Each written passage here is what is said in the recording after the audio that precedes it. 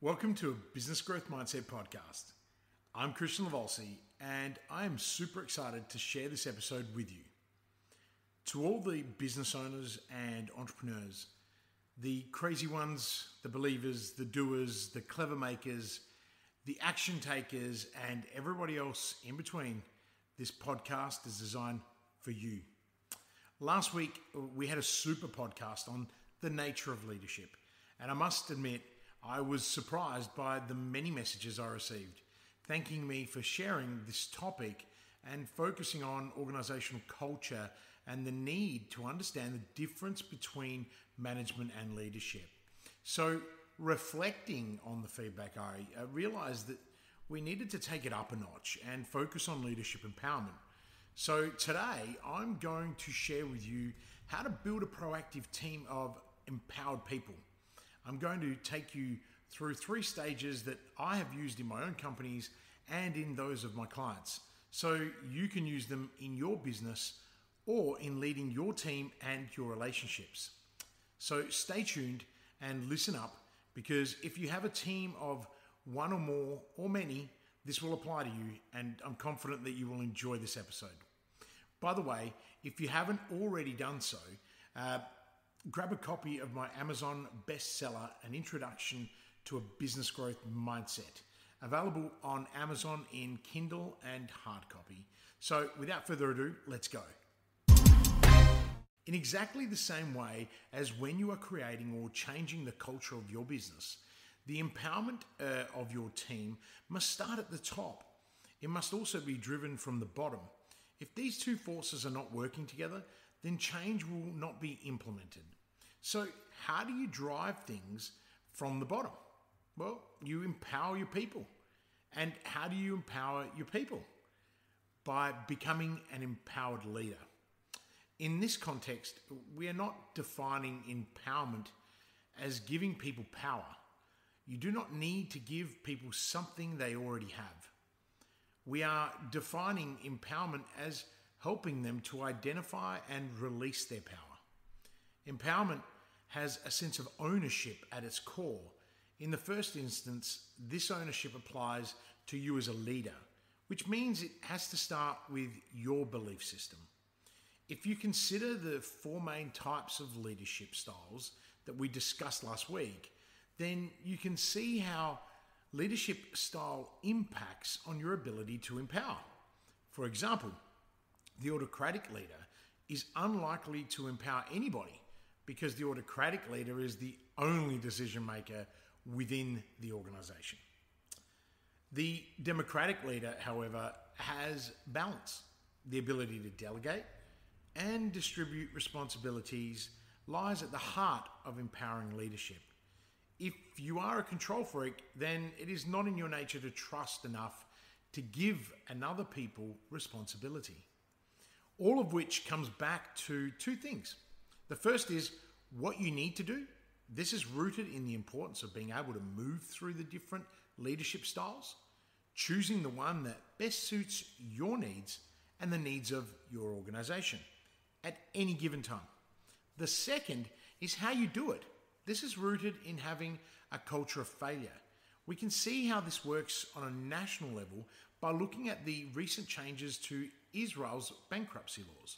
In Israel, the emphasis has shifted from punishing those who are facing financial difficulty to supporting them until they are back on their feet.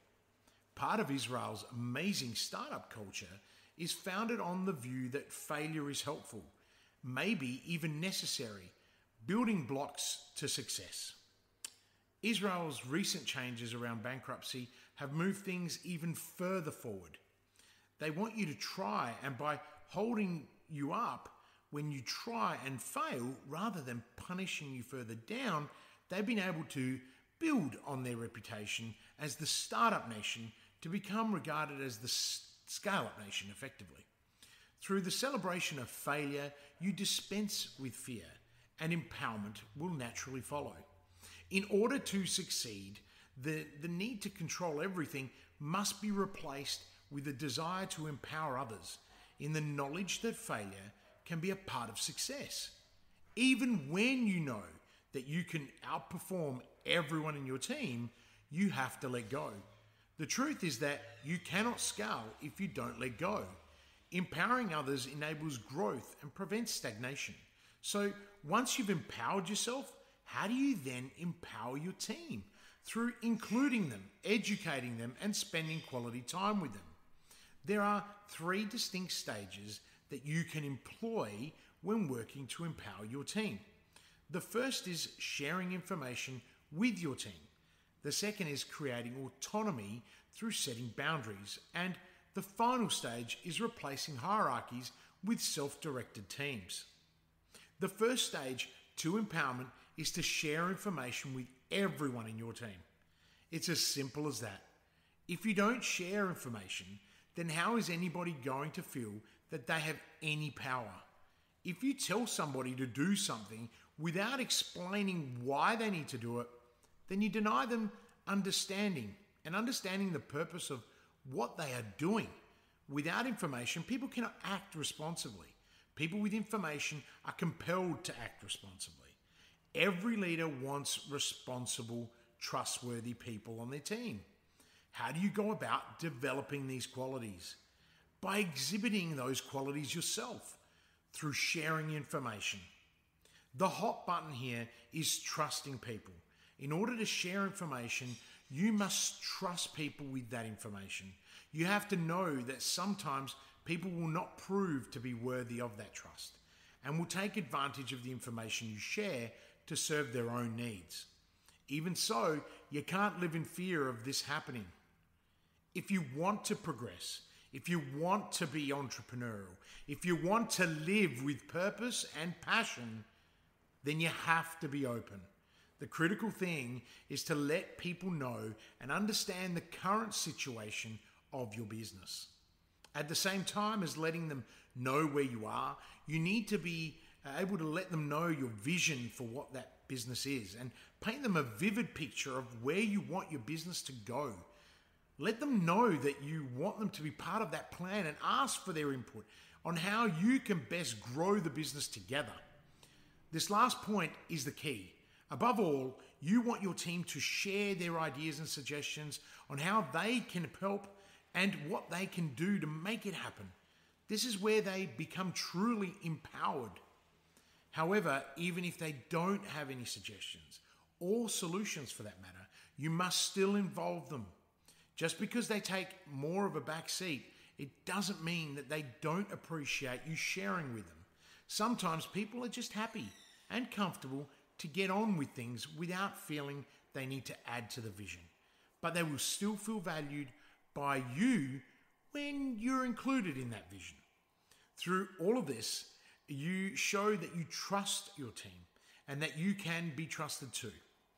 With this in mind, let's focus on stage two, which is creating autonomy through setting boundaries. In order to become empowered, people have to learn new ways of thinking and of working with one another. This means that you have to set boundaries.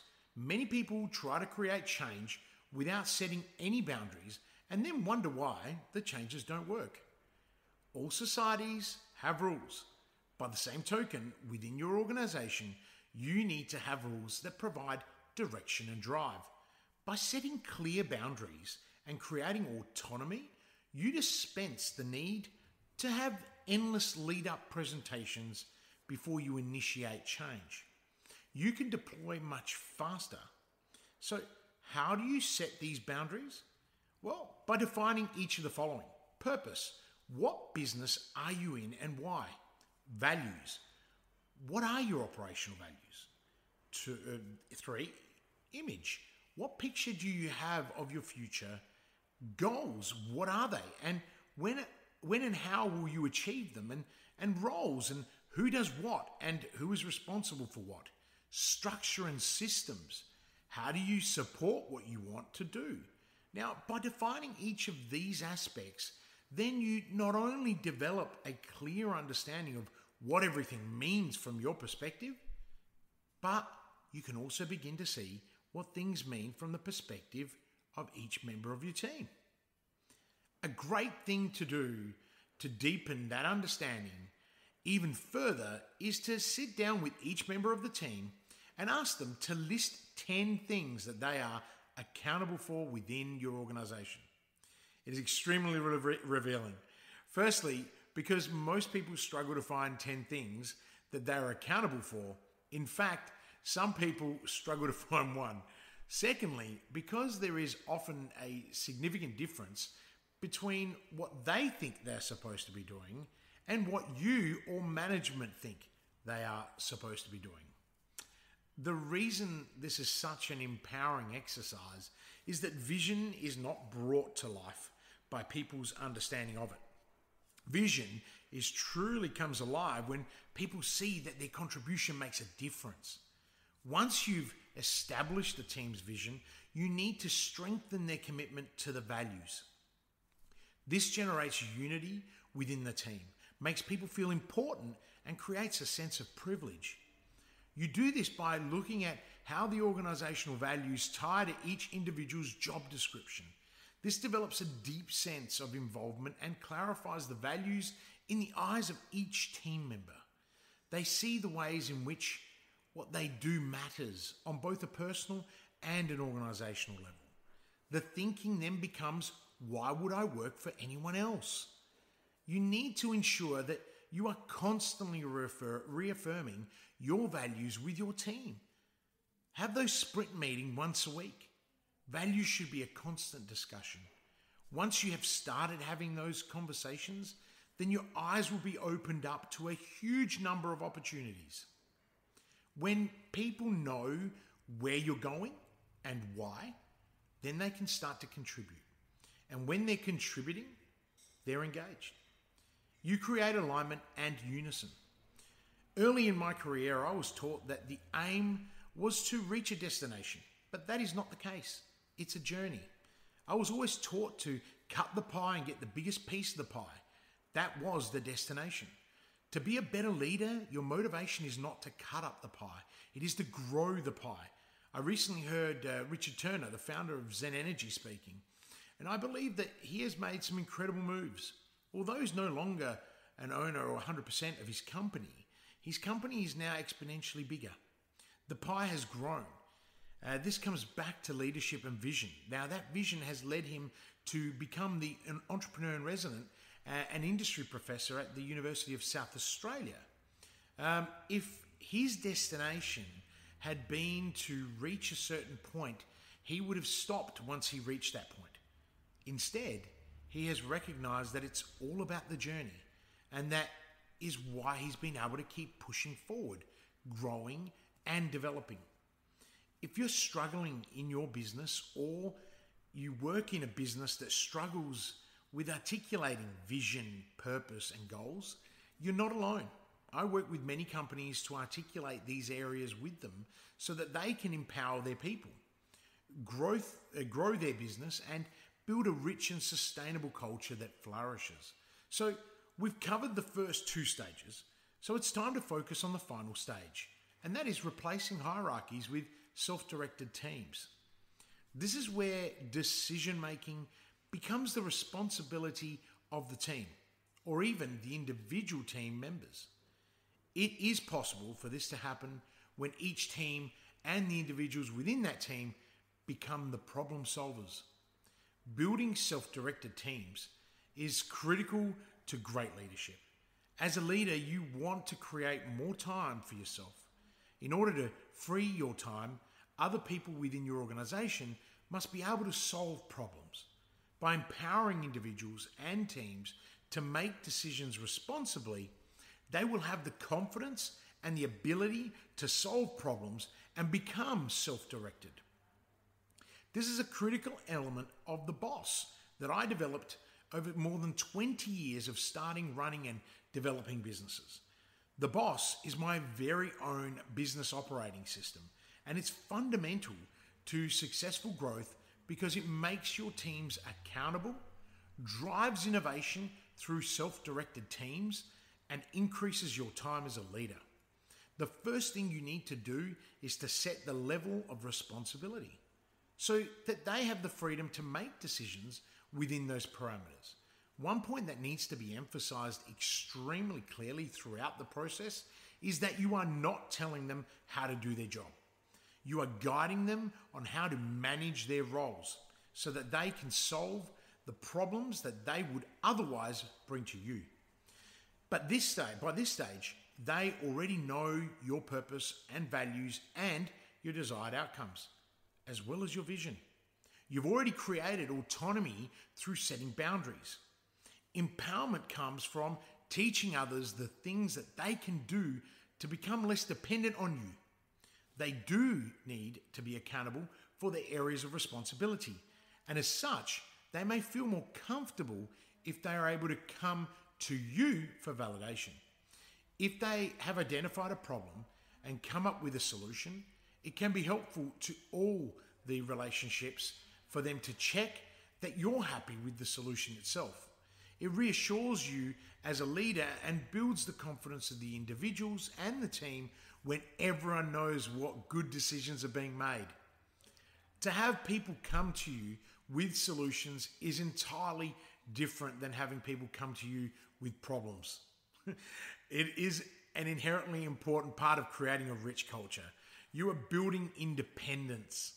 There is a saying I picked up while consulting in the UAE many, many years ago don't just do something, stand there. I was taken back by this at first, but I quickly learned that as a leader, this meant that you have to learn when not to step in so that someone else can act. It may require making a conscious effort not to act, but it is essential that you extend this trust to your people. Empowering leadership is not primarily about empowering yourself, it is about empowering others. It is through this empowerment of others that you, as a leader, strengthen your power. It's very hard to give up control when you're really, really good at what you do. Of all the qualities that a leader needs to process, empowering others is, in my view, the very most important. The fear of relinquishing control is often at the foundation of the mistakes that leaders make. Rather than protecting yourself by retaining control, you ultimately put yourself in a weaker position for the simple reason that empowered, empowered teams can do more than empowered individuals. By following the three stages to build proactive teams of empowered people, you harness the power of many. These ideas are not new. The principle of the mastermind goes back to 1928 when Napoleon Hill wrote The Law of Success, in which he states the group helps to organize useful knowledge, creating a virtual encyclopedia from which each member can draw information. This is why I'm launching my second mastermind program so that more business leaders can empower each other and then take their understanding and knowledge back to their teams and in turn empower the people within their organizations. I'll have my team post a link to the registration for anyone who is interested to be part of this group. Each step to creating self directed teams is so important because people don't start out knowing how to work in self directed teams. They need to be taught. It's important to realize this. It is also important to realize that there may be times when people are not comfortable with the change that you are instigating. Dissatisfaction is a natural part of this process. Your people may not want to make decisions because when they make decisions, then they are accountable. You need to recognize this and persist, but you also need to recognize when someone can't be empowered. Some people simply do not have the leadership qualities necessary to step up. Regardless of this, everyone has to be trained in team skills. Everyone. People's skills need to be developed because this is how great conversations are created. You need to find the ways that you can reach different groups of people so that you can connect with them in a way that has relevance and meaning in their lives and their roles. In order to make it work, commitment and support have to come from the top. They have to come from you. You can't just show them the system and then tell them to get on with it. You have to get involved. It is an investment of your time and energy because once you have empowered your teams and helped them reach the stage where they are self directed, your workload will have shifted dramatically and you can focus on leading your organization rather than micromanaging teams. Finally, teams with information and skills can replace the old hierarchy. Essentially, it's succession planning. The biggest problem that we see in Australia right now is succession planning because leaders don't empower their people, and many businesses are mature with no future plan. Just as you don't need to control every aspect of your business because you believe you are capable, uh, or say you're more capable than anyone else, you also don't need to view others as a threat to your position. It's okay for people to grow beyond your teachings. It's okay for people to grow beyond your ability. In fact, it's desirable. By enabling growth, you're giving your business the greatest guarantee of continuing success. And that is truly powerful. If you are in business or a C suite executive struggling to take control, you lack freedom, and you have no time, then it's likely that you are not empowering your team and that you are carrying the weight of your organization on your shoulders. It doesn't have to be like this. Start by following the three stages in today's podcast. Begin by sharing information, creating autonomy through setting boundaries, and replacing hierarchies with self directed teams. If you don't want to do it alone, get in touch with my team and let's see if I can help you. Thank you for taking the time to hang out with me today.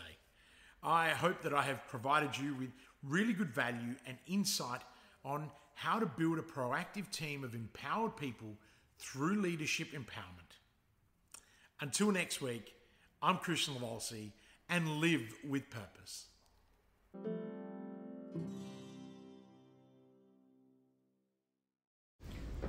Are you ready to start taking action on your business? Would you like to spend more time with your family?